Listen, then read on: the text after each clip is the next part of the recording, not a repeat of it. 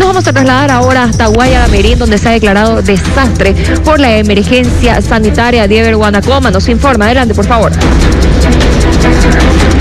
Amigos de Notivisión, estamos en, el interior del Consejo Municipal a esta hora y precisamente vamos a conversar con la presidente del Consejo, la licenciada Janet Cuellar, a propósito de la declaratoria de alerta sanitaria por desastre biológico acá en Guayaramerín.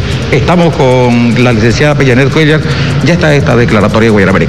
Efectivamente, ¿no? Un saludo a todo el pueblo boliviano, informar de que Guayaramerín eh, de acuerdo al, informe de la Red 8 y la solicitud de la alcaldesa municipal y de dos honorables concejales, se ha declarado la ley municipal de declaratoria de desastre sanitario por riesgo biológico coronavirus COVID-19 en el municipio de Guayaramerín.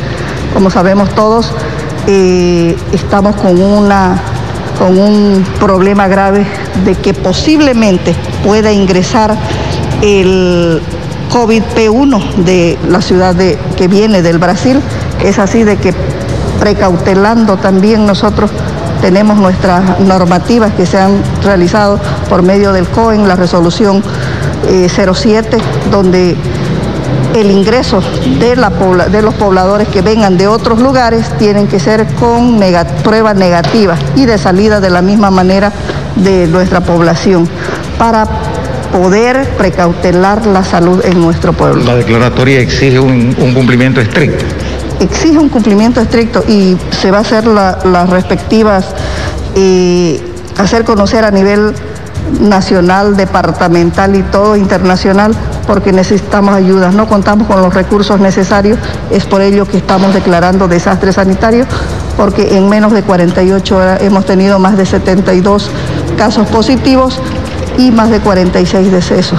Licenciada, el sistema de salud en Guayaramerín es muy precario, se necesita intervención de la departamental y nacional urgentemente.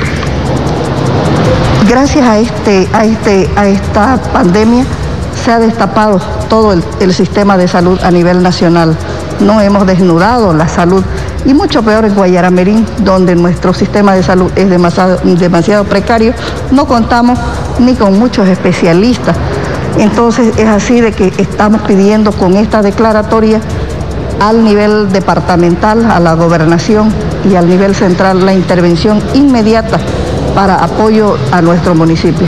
Eh, hay que lamentar que dentro del personal en el Consejo Municipal ahora son dos fallecidos, hoy fallece el asesor, ¿no?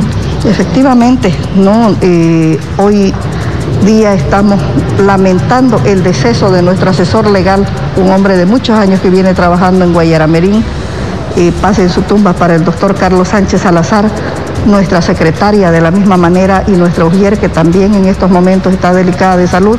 Es por ello de que vamos a hacer un rociado de manera inmediata y un cierre por lo menos por cinco días del Consejo Municipal. Miren, la situación que se vive acá en Guayaramerín es bastante particular. Eh, suman los casos, hasta el momento hay 814 y lamentablemente en, en, en, la coordinación de red no nos han dado la última cifra porque aumentan los casos todavía. Lamentable lo que pasa en Guayaramerín. Ojalá que con esta declaratoria podamos recibir mayor apoyo en nuestro municipio. Muchas con gracias. La Cámara de Moisés Machicado informó. Gracias,